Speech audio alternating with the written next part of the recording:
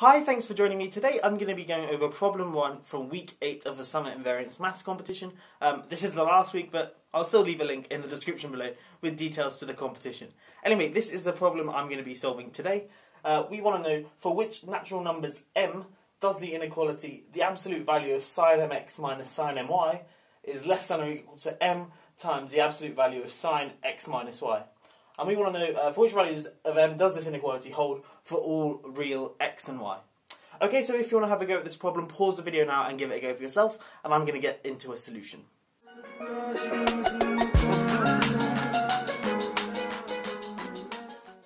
Okay, so the answer to this problem is all even m.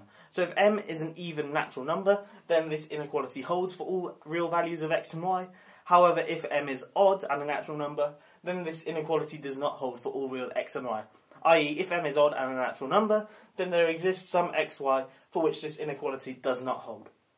Okay, so to prove that, firstly what I'm going to do is exclude all odd positive integers.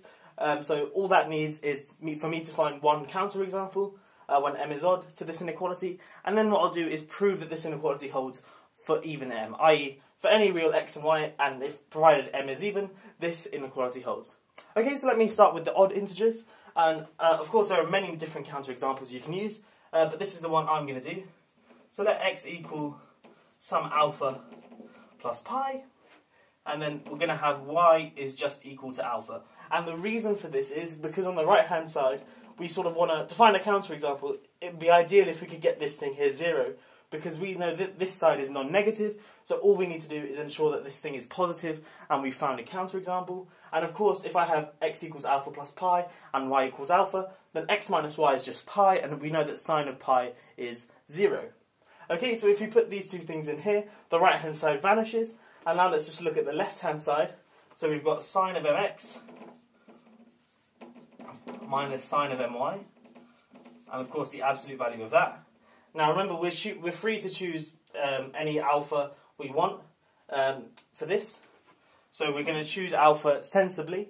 Okay, but now let's just expand this using what x and y are. So that's sine of um, m plus, sorry, m times alpha plus pi minus sine of m alpha.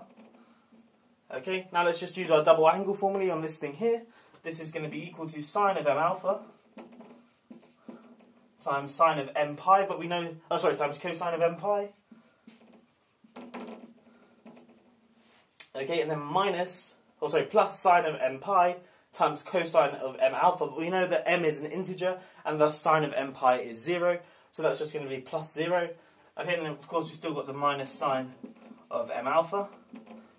Okay, now cos, uh, cosine of m pi is just minus 1 to the m, Okay, and because m is odd, um, then minus 1 to the m is just minus 1.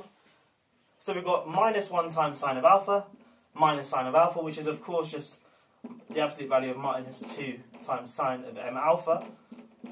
And of course we can just write that as sine of 2, sorry, 2 sine of m alpha.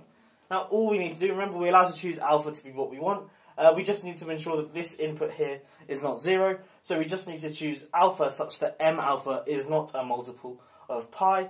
Um, and we can there are lots of different choices for that. But if we choose alpha equals 1, this actually works for all m. So if we just have alpha equals 1, then we have 2 times the absolute value of sine of m. Now because uh, this thing is only 0 when uh, the input is a multiple of pi, uh, because m is an integer, this is always going to be non-zero.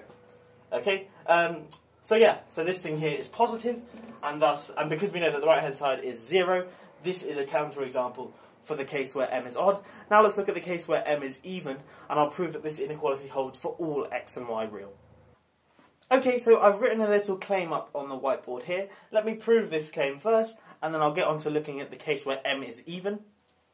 So I claim that the absolute value of sine excuse me, I claim that the absolute value of sine n theta is less than or equal to n times sine theta, where n is any natural number and theta is a real number. Okay, so let me prove this, and I'm just going to do it by induction. In the case n equals 1, on the left-hand side I've just got sine of theta, or the absolute value of sine of theta, and the right-hand side I've just got 1 times the absolute value of sine of theta, So it's, it's an equality, so that holds quite nicely. So that's the base case done. Now let's look at the inductive step. So suppose it holds for some n. Now let's look at n plus 1. So on the left hand side I've got sine of n plus 1 theta. Like so. Um, and now what we're going to do is just use our double angle formula on this. So this is sine of n theta times cos cosine of theta plus cosine of n theta times sine of theta. Okay, now using the triangle inequality, we can just write this as less than or equal to sine of n theta cosine of theta plus cosine of n theta times sine of theta.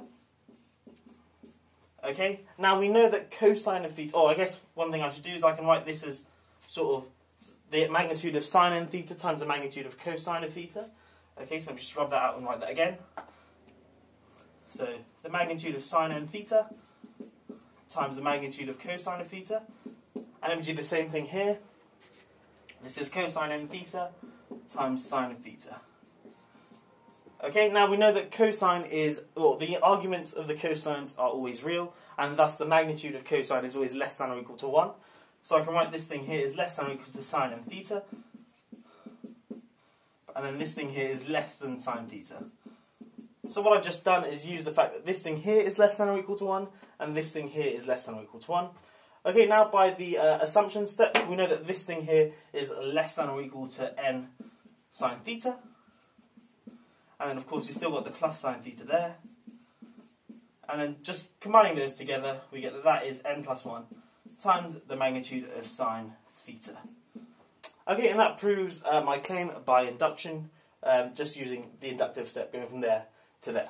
Okay, now let me use this claim to prove that for m even, uh, this inequality holds for all real x and y. Okay, so we're at the last stage of the problem, and I want to show that this inequality holds for even m. Now I've written uh, this thing here on the board, 2 times cosine of a plus b over 2 times sine of a minus b over 2 equals sine a minus sine b. Now this thing holds for all real a and b, and it's not too difficult to prove. You just use a double angle formula on this side here. You expand everything out, there'll be some nice cancellations. You'll have some sine squared plus cosine squared and stuff like that, and you'll end up with the right hand side. I'm not going to prove that in this video, um, but it's not too difficult to prove. Now what I'm going to do is use this uh, to answer the problem. And you can see the right hand side here, sine A minus sine B, looks similar to what we have on the left hand side. Okay, so let's plug in A equals mx and B equals my, where m is some uh, even natural number. Okay, so we get sine of mx minus sine of my, so our left hand side.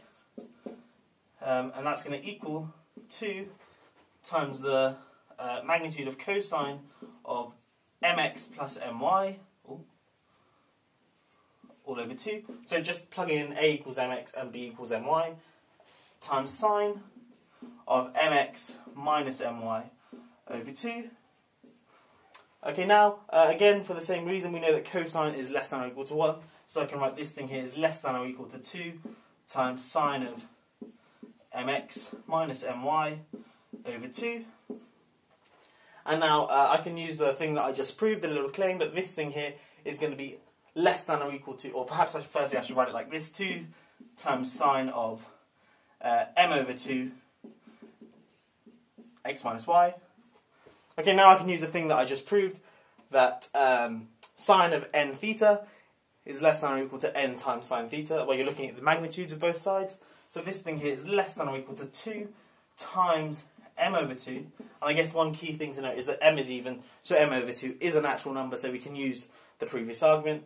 So 2 times m over 2 times sine of x minus y. Okay, but of course here the 2's cancel nicely. And we're just left with the right hand side of this thing here, just like we want. Okay, so that proves for the case m equals even, and that solves the problem. Okay, so this inequality holds for all real x, y, uh, if and only if m is an even natural number, provided of course m is a natural number. I hope you have enjoyed this uh, solution video. Uh, if you are new here, please do consider subscribing. I make lots of fun maths videos, proofs, problem solving, that sort of thing. So uh, if that if that excites you, uh, please do consider subscribing. I will catch you in the next one. Have a great day.